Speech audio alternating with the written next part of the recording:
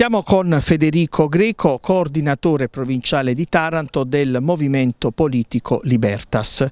Da lungo tempo, già da prima che ci conoscessimo, io ho apprezzato l'impegno di Federico Greco per, per, far sì che eh, l'aeroporto eh, Arlotta di Grottaglie possa aprirsi ai voli passeggeri.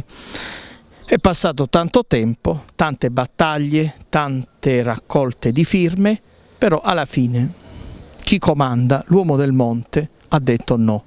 E i voli passeggeri a Grottaglie non ci sono. Nel frattempo la fantasia di Emiliano ha spaziato altrove e ha pensato ai voli suborbitali, ai viaggi nel, nei weekend nello spazio, quindi Gricoli tra un paio d'anni dirà vado con mia moglie un weekend sulla Luna e i voli passeggeri ci vengono negati. Ecco, facciamo un po' il punto della situazione, proprio come movimento Libertas negli ultimi tempi vi siete dati molto da fare con raccolta di firme, con sollecitazioni varie.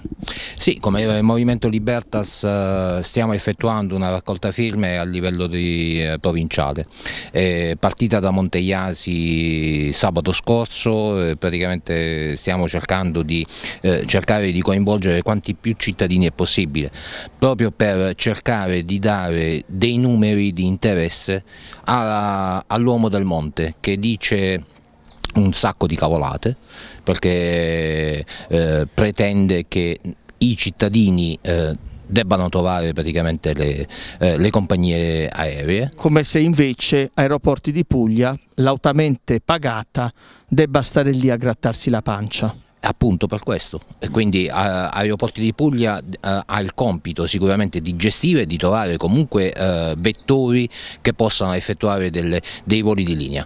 E, e sicuramente non, non, i cittadini anche se comunque una grande sorpresa eh, la riceverà a giorni Emiliano perché arrivato a questo punto lo mettiamo direttamente con le spalle al muro visto che come movimento stiamo cercando di sensibilizzare eh, due compagnie aeree mm, siamo ancora in, in, fase di trattativa.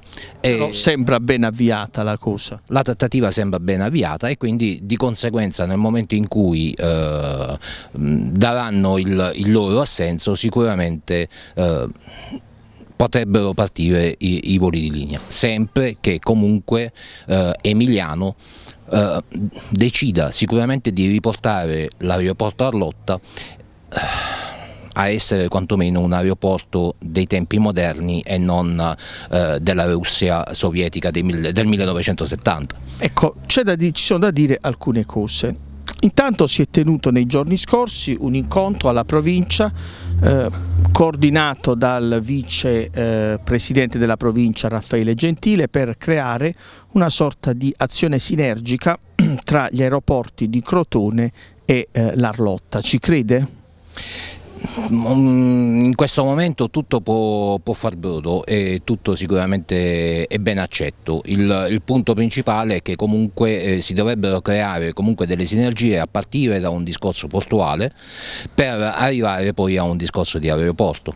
Sinceramente la vedo un... Uh, Mm, sicuramente un'ottima un iniziativa ma che non credo possa avere grandi effetti visto che comunque eh, sia la regione Puglia che la regione Calabria dovrebbero comunque investire eh, parecchi soldi per creare praticamente la compagnia aerea. Intanto nei giorni scorsi abbiamo ascoltato, abbiamo registrato le parole sferzanti, offensive della dignità dei tarantini proferite da eh, Giannini, appunto assessore regionale ai trasporti, rientrato dopo una vicenda giudiziaria eh, al suo incarico assessorile, la prima cosa che ha fatto ha detto chiaramente signori Tarantini scordatevi i voli civili perché l'Arlotta è destinata ad altro perché c'è già l'aeroporto di Brindisi perché non dobbiamo fare duplicazioni.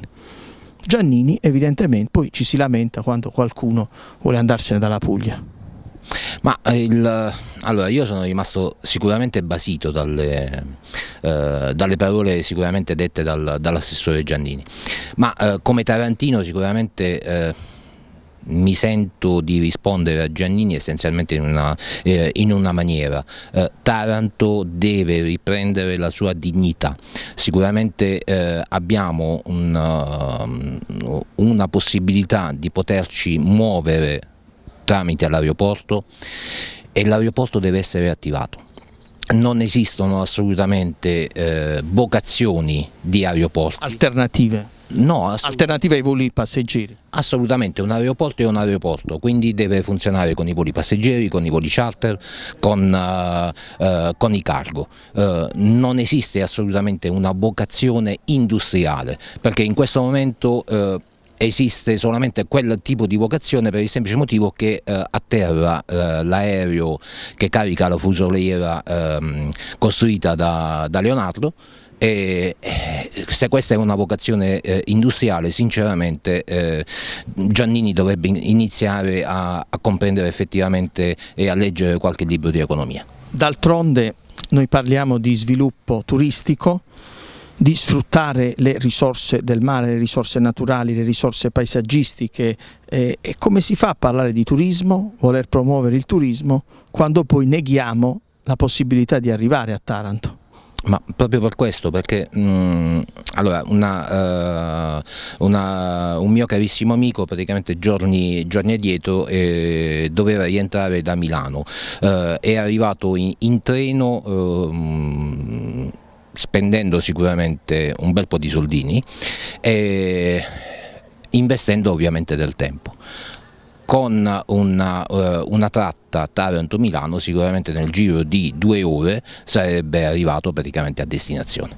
Quindi mh, mm, non abbiamo sicuramente dei collegamenti che si possano definire tali eh, per quanto riguarda il, uh, il, il, nodo ferroviario, non abbiamo collegamenti per quanto riguarda il discorso aeroporto e le strade sicuramente l'autostrada si ferma, si blocca a Massafra e quindi il, eh, il turismo come potrebbe sicuramente eh, attivarsi?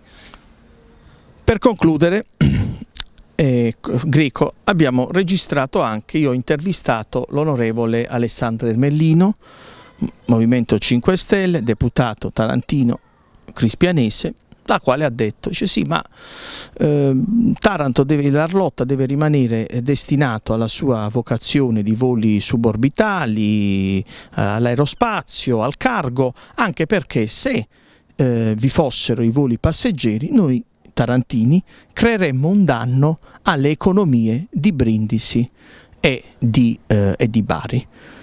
Mi sembrano affermazioni deliranti, cioè una tarantina che dice io mi preoccupo delle economie baresi e brindisine e non considero la, la, la sofferenza, la città di Taranto che puzza di fame. Ma purtroppo per quanto riguarda i Crespianesi non è la, la prima, visto che comunque il sindaco Melucci che abita a, a Crespiano e non è che riesca a, a, mantenere un decoro per quanto riguarda la città di Taranto. Eh, ritornando all'onorevole, eh, mi, dispiace, mi, dispiace, sicuramente, ma l'onorevole eh, Ermellino sicuramente deve quantomeno rassegnarsi all'apertura um, uh, all dell'aeroporto perché Ovviamente eh, noi non creiamo assolutamente un danno, ma è, anzi lavorando in sinergia con Bari, con Brindisi e con Foggia, sicuramente riusciremo a creare una, uh, una struttura di sistema aeroportuale pugliese. Ultimi, le ultime così, quello che è in programma come azioni incisive mirate da parte del Movimento Libertas in questa direzione, apertura dell'Arlotta ai voli passeggeri. Sicuramente continuare a colloquiare, infatti in settimana prossima eh, abbiamo un appuntamento con, eh, con, le due compagnie di volo, e, e portare le due compagnie di volo a un tavolo tecnico con ADP e con Regione Puglia e a questo punto Emiliano non, non può che eh, restituire al territorio tarantino eh, i fondi che sono stati distratti per ehm, eh, utilizzarli sia sull'aeroporto brindisino che su quello barese.